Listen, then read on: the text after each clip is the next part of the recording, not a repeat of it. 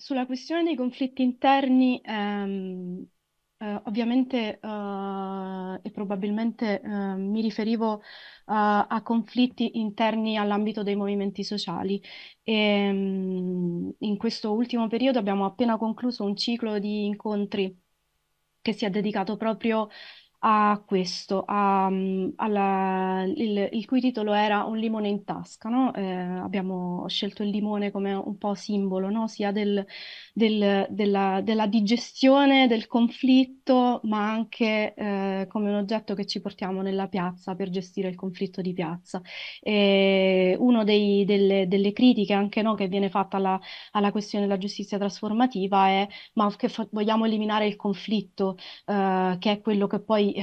per noi che apparteniamo a, ai movimenti sociali è anche motore di cambiamento. No? Um, la questione del conflitto interno ai movimenti sociali è in realtà molto, parlo di conflitti e non di violenze, è molto uh, dibattuta nel senso che um, la questione è cercare di non rompersi davanti alla minima uh, difficoltà e quindi come facciamo a superare uh, le polarizzazioni all'interno dei gruppi um, e avere anche la possibilità di, uh, di, di, ottenere delle comunità abbastanza solide da poter uh, addirittura attraversare processi tras- trasformativi in seguito a, a, alle violenze. Questo è appunto il, um, l'idea di provare a imparare a superare i conflitti interni uh, per, uh, c'è uno slogan in inglese che dice um, um, we, we, want to look after each other to be dangerous together. Vogliamo prenderci cura di noi per poter essere, uh, per poter essere pericolosi insieme. No? cercare appunto di, di, costruire queste pratiche attraverso la costruzione di una solidità, di una solidità interna. Uh, per quanto riguarda diciamo, anche le pratiche dell'abolizionismo uh, femminista, eh, io credo che uno dei limiti appunto uh, di, cui parlavamo, di, cui parlavamo, prima sia quello di riconoscere che forse le, eh, le, le, le idee prodotte dal femminismo bianco occidentale non possano essere calate su, tutti, eh, su, tutto, eh, su tutto, il mondo, ma anche su tutti i mondi che, che, che esistono all'interno delle nostre città, sulle periferie delle città, sulle, sulle, sulle zone che non sono toccate uh, da uh, il, diciamo, uh, quella sorta di idea di emancipatoria sulla, cioè che, che, ci viene un po' calata appunto da, da, questo tipo di, da questo tipo di elaborazioni. Ehm, e che poi ci rende molto difficile agire il cambiamento. Eh, io faccio soltanto degli esempi. Um, quello che uh, è risultato in, alcuni, in alcune aree uh, periferiche delle, delle, città statunitensi dove viene applicata la giustizia trasformativa è ad esempio cominciare a um, sviluppare dei, uh, delle pratiche culturally specific, specific che, um, che, in inglese vuol dire specifiche per la cultura a cui si fa riferimento, dove la violenza è avvenuta. Ad esempio abbiamo comuni- eh, comunità migranti su cui viene spesso calata un'idea di sicurezza e un'idea de, eh, di ehm, possibili conseguenze alla violenza di genere, possibili percorsi in seguito alla violenza di genere che non sempre valgono per quella comunità, perché l'organizzazione interna di quella comunità non risponde alle elaborazioni femministe che noi cerchiamo di, di, di calare su quella cultura. No? Um, e si è visto che uh, facendo dei percorsi che sono culturally specific, specific si, si riesce ad essere più efficaci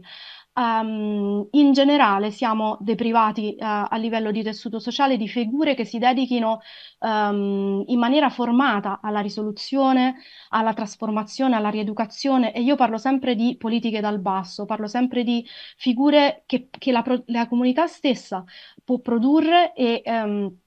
e in questo modo ridurre, no? ridurre la violenza uh, che viene generata anche dallo Stato. Um,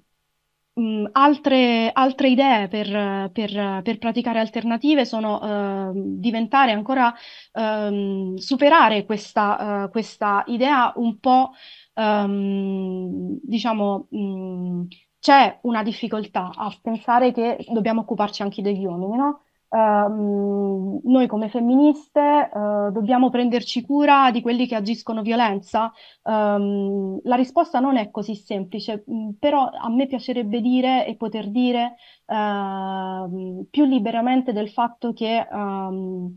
ehm, non vogliamo fare questo perché eh, siamo di buon cuore, ma perché risulta essere più efficace. Ehm, ci sono persone eh, che si stanno formando per riuscire a lavorare anche, eh, anche con gli uomini e questo non, eh, non deve essere più un tabù, ma, in questo eh, periodo vedo che eh, si stanno portando avanti progetti del genere ed è chiaro che si sviluppano anche ehm, delle criticità e si sviluppano anche ehm, degli scetticismi davanti ai percorsi di autocoscienza maschile. Eh, per quanto mi riguarda, ehm, sono percorsi che dovrebbero sempre partire dal basso e, mm, e, ed evitare l'idea della, uh, della visibilità. No? Mm, per me uh, un gruppo di autocoscienza maschile uh, probabilmente prima di essere visibile, prima di poter produrre teoria o produrre elaborazioni, deve, mh, ha bisogno di lavorare molto, uh, molto, su se stesso. Io non so se in Italia um, possiamo uh, parlare di... Sicuramente ci sono ehm, dei, dei, gruppi che stanno nascendo in ai movimenti, non so a livello eh, storico quali sono i gruppi eh, che hanno lavorato sulla questione dell'autocoscienza maschile, quindi non mi, non mi posso esprimere su questo, però ehm, sappiamo che eh, dai gruppi di autocoscienza maschile possono nascere anche delle, mh, dei, possono emergere alcuni dei bisogni uh, le, di cui le comunità um, potrebbero, po- potrebbero, giovare uh, per evitare il nascere di conflitti e all'estremo di violenze. Abbiamo bisogno di supporto alla genitorialità, uh, di infrastrutture sociali nei quartieri. Uh, tantissimi esempi vengono da, da, da quartieri che durante, uh, durante, il periodo pandemico, ma anche dopo, mi sono, mi sono arrivati racconti di persone che hanno notato che il fatto di essere presenti um, fornendo beni di prima necessità all'interno dei quartieri è riuscito a, eh, cioè questa sola attività è riuscita a diminuire i casi di violenza. Um,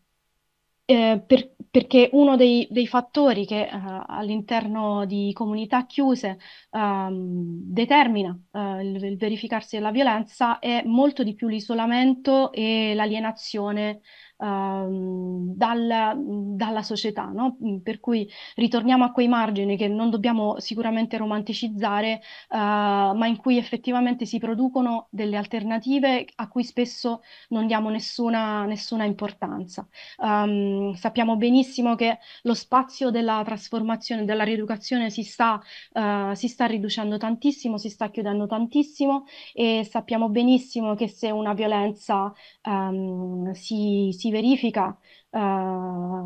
in, in, territori come quelli di Caivano arriva l'esercito, ma se una violenza um, la agisce il figlio di La Russa o il figlio di Grillo, uh, non arriva di certo l'esercito, ma uh, abbiamo una copertura mediatica che permette di vittimizzare, di, di, mh, sì, di, mh, scusate, di, di, dipingere come come vittima imperfetta uh, chi ha subito la violenza e, e, e, fare, e far um, diciamo, uh, scomparire dalla, dal quadro uh, chi l'ha agita.